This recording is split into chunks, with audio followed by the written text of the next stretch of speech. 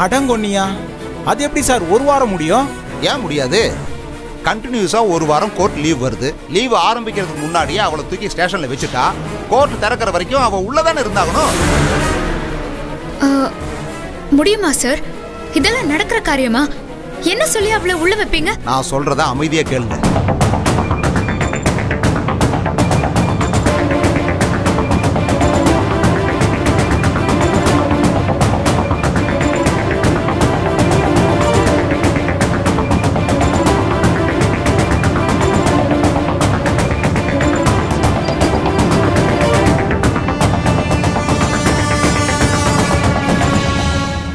Sir இத பண்ணிடலாம். நான் சொன்னதை கவனமா மனசுல வச்சுக்கங்க. கரெக்டா நான் என்ன சொன்னானோ அதே மாதிரி நடக்கணும். அந்த சௌந்தர்யா அப்படியே உங்களை தாக்குறதுக்கு வாகா செட் பண்ணுங்க. இது மட்டும் நடந்துருச்சுன்னா நிச்சயம் அவளை ஒரு வாரம் உள்ள வச்சிடலாம் செஞ்சு முடிச்சிட்டு வந்து சொல்றேன். வாங்க மாமா.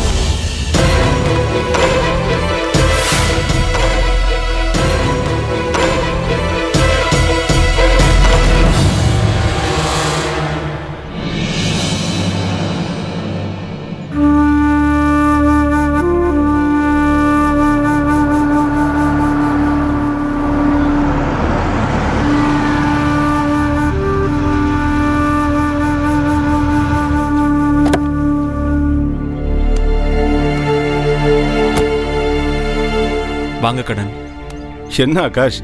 ஏதோ பேயை பார்த்து பயந்து நிக்கிற மாதிரி நிக்கிறீங்க? நடந்ததெல்லாம் கேள்விப்பட்டேன்.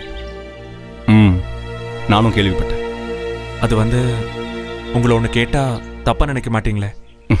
என்கிட்ட பேசுறதுக்கு ஏங்க யோசிக்கிறீங்க? எதுவாக இருந்தாலும் சொல்லுங்க. நமக்குள்ள ஒரு ரிலேஷன்ஷிப் உருவாகிறதுக்கும் ஒரு ஸ்ட்ரெச் வர்றதுக்கும் ஏதோ ஒரு விதத்துல வளர்தான் காரணமா இருந்திருக்கா? அவ மூலமா தான் நான் உங்க குடும்பத்துல ஒருத்தன் நானு. ஆனா இன்னைக்கு நம்ம உறவை கெட்டு போறதுக்கும் அவளே காரணமாயிடுவாளோன்னு பயமா இருக்கு கண்ணன். ஆட என்னங்க நீங்க? அவ தான் ஏதோ லூஸ் மாதிரி ஏதோ ஒன்று செஞ்சுட்டு போறான்னு நமக்கு என்ன போச்சு? நாம எப்படி இருந்தோமோ எப்பவுமே அப்படிதான் இருப்போம். தேங்க்ஸ் கண்ணன். உண்மையிலேயே நான் ரொம்ப பயந்தேன்.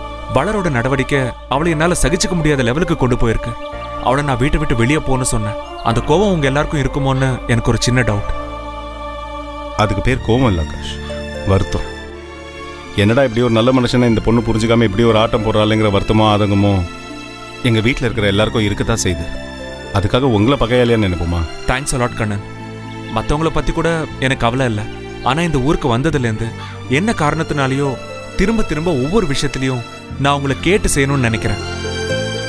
எல்லாத்துலயும் உங்க கருத்து என்னவா இருக்கணும்னு தெரிஞ்சுக்கிறது எனக்கு அவ்வளோ முக்கியமா இருக்கு. நீங்க வருத்தப்பட்டு என்னை விட்டு விலகி போயிட்டீங்கன்னா என்னடா செய்யறதுன்னு ரொம்ப பயந்துட்டேன். ஆகாஷ் நான்லாம் என் மாமா மாதிரி. ஒருத்தருக்கு ஒரு தடவை ஒரு வாக்கு கொடுத்துட்டேன்னா சாகிற வரைக்கும் அதை காப்பாற்றணும்னு தான் நினைப்பேன். இந்த ஒரு வார்த்தை போதும் கண்ணன். ஆக்சுவலா எனக்கு இப்போ பெரிய பிரச்சனை என்னன்னு தெரியுமா? பிசினஸ்ல வளர் பெரியும் நான் சேர்த்திருக்கேன். சேர்க்காம தான் இருந்து பார்த்துருக்கணுமே. பே ஆட்டம் போட்டிருப்பா. இப்போ பிரச்சனை என்னன்னா எல்லாத்துலயும் அவ பேர் இருக்கிறதால முக்கியமான எக்ஸ்போர்ட் பேப்பர்ஸ்ல எல்லாம் அவ கையெழுத்து தேவைப்படுது. முறுக்கிக்கிட்டு போனவகிட்ட நான் எங்க இருந்து கையெழுத்து வாங்குறது? அது கொஞ்சம் கஷ்டம்தான். சொன்னா கேட்குற ஜென்மமா அது. அதை நினைச்சாதான் ரொம்ப கவலையா இருக்கு. திடீர்னு அவங்க அம்மாவை வெளியே எடுக்க ஐம்பது லட்சம் ரூபாய் பணம் வேணும்னு கேட்டா. நான் தர முடியாதுன்னு சொல்லிட்டேன். அதுக்கும் கோச்சுக்கிட்டு சண்டை போட்டு போயிட்டா. அவளை என்ன பண்ணி சரி பண்றதுன்னு எனக்கு தெரியல. சரி ஆகாஷ். நீங்கள் கவலைப்படாதீங்க. அவள் தான் ஏதோ லூஸ் மாதிரி பேசிக்கிட்டு இந்த மாதிரிலாம் செஞ்சுட்டு இருக்கானா அதுக்காக நாமளும் அப்படி விட்டுற முடியுமா? அப்படிலாம் சுலபமாக விட்டு கொடுத்துட முடியாது. என்னதான் இருந்தாலும் அவ்வளோ என் மாமா பொண்ணு தானே. பேசி பார்க்குறேன். என்ன நடக்குதுன்னு பார்ப்போம். நீங்கள் கவலைப்படாமல் இருங்க.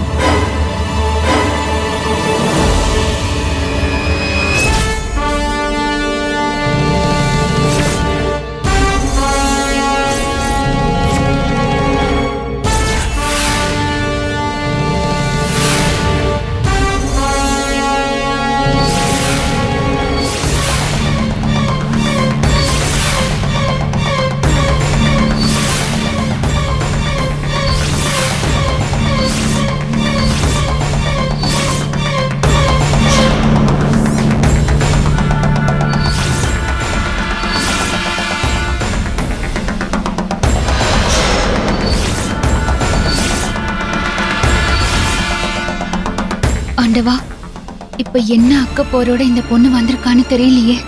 பச்சை கண்ணு வாங்காம சௌந்தரிய அம்மாவையே பாக்குதே திரும்ப எதுவும் விவகாரம் கிளப்ப போகுதா? ஒண்ணுமே புரியலையே. வளரு வந்துட்டியாம்மா? இன்ஸ்பெக்டர் என்னம்மா சொன்னாரு? ஜாமீன் கிடைச்சிடும்ல? வளர் உன்னதான் கேக்குறேன். ஆமா உன் கூட வந்த குமரேசன் எங்க போனா?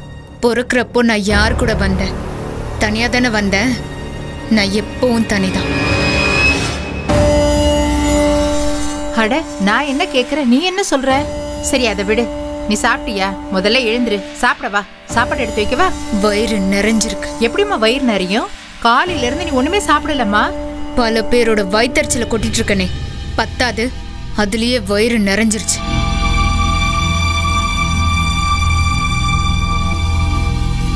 இத பார் அப்படி எல்லாம் பேசாத. இவங்கள பத்தி நமக்கு தெரியாதா? ஒண்ணுமில்லாததை ஊதி பெருசாக்குற கும்பல் இது. உங்க அம்மாவை எப்படியாச்சும் நம்ம வெளியே எடுத்துருவோம் வளரு. சாப்பிட வா. பரவாயில்ல இருக்கட்டும். எங்க அம்மா கொஞ்ச நாள் ஜெயிலே இருந்தாலும் எனக்கு பிரச்சனை இல்லை. ஜெயில்னா என்னன்னு அவங்க மூலமா தானே நான் தெரிஞ்சுக்கணும். இதுக்காக நான் ஒரு கொலை பண்ணிட்டா உள்ள போக முடியும்? ஏய் என்ன பேசுற நீ? நிஜமா தான் சொல்றேன். அங்க என்ன கஷ்டம் எப்படிப்பட்ட வாழ்க்கை சோறு கிடைக்குமா களி தான் போடுவாங்களா கொசு கிடைக்குமா பாம்பு வருமா பூரா ஊருமான்னு தெரிஞ்சுக்கிட்டு வரட்டும்.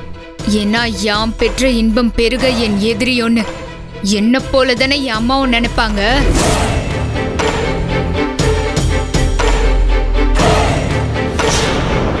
ஓ அப்படி வரியா நீ?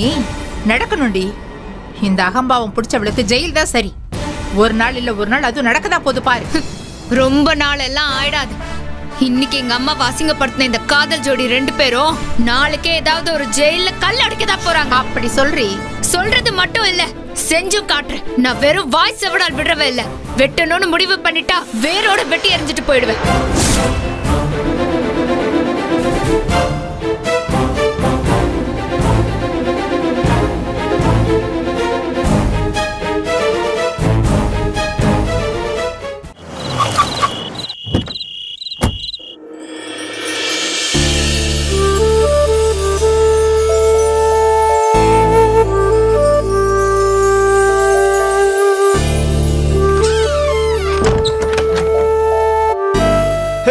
Hey sound. என்ன?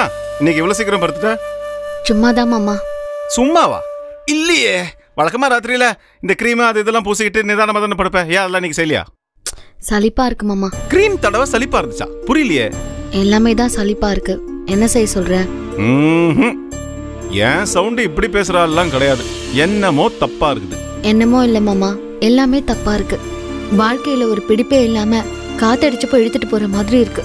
நீயே சொல்லு. பொழுது விடிஞ்சு எந்திரிச்சா ஏதாவது ஒரு ப்ராப்ளம் எல்லாத்துலயும் ஒரு ஸ்ட்ரெஸ் தொட்டதுக்கெல்லாம் கோவம் சண்டை. ஏன் மாமா வாழ்க்கை இவ்ளோ மோசமாயிடுச்சு அதுக்காக வாழ்க்கை மோசமா இருக்குன்னு சொல்லிட முடியாது. நாம தான் அதை அப்படி ஆக்கிடுறோம். நாம என்ன தப்பு பண்ணோம்? நாமன்னா நீயும் நானும் இல்லை பொண்டாட்டி? நம்மளை சுத்தி இருக்கிறவங்க சரியில்லைன்னா வாழ்க்கை ரொம்ப மோசமா இருக்கிற மாதிரி தான் தெரியும்.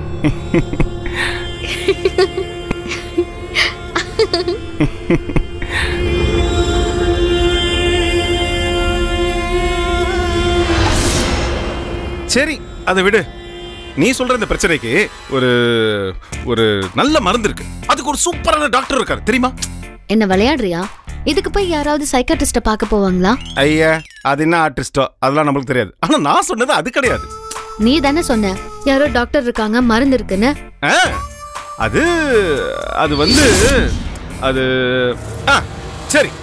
டாக்டர் பேரு கண்ணன். மருந்து அது ஒரு மூணு எழுத்து மருந்து. மூணு எழுத்து மருந்தா? அது என்ன மருந்து? இல்ல நாலு எழுத்துன்னு கூட சொல்லலாம். கரெக்டா சொல்லு. மூணு எழுத்தா நாலு எழுத்தா? இங்கிலீஷ்ல சொல்லணும்னா நாலு எழுத்து தமிழ்ல சொல்லணும்னா மூணு எழுத்து. நீ வெளிநாட்டுக்கெல்லாம் போய் படிச்சுட்டு வந்த புள்ள தானே? ஆ ஏங்க நான் இப்போ சொன்னதை வச்சு கரெக்டாக கண்டுபிடி பார்ப்போம் இங்கிலீஷில் சொல்லணும்னா நாலு எழுத்து தமிழில் சொல்லணும்னா மூணு எழுத்து. என்னவா இருக்கும்? சொல்லு சொண்டு சரி உனக்காக. முதல் எழுத்து கால் ஆரம்பிக்கும். கால ஆரம்பிக்குமா? ஏதாவது கஷாயமா? ஐயா மூணு எழுத்துங்கிறேன் கசாயங்கிற அதானே. அப்போ ஆ, கருப்பட்டி? எங்க அம்மாவை ஜெயிலுக்கு அனுப்பிட்டு என்ன நிம்மதி இல்லாம பண்ணிட்டு நீங்க ரெண்டு பேரும் சந்தோஷமா இருக்கீங்களா? ரெண்டு பேரையும் விட மாட்டேன்.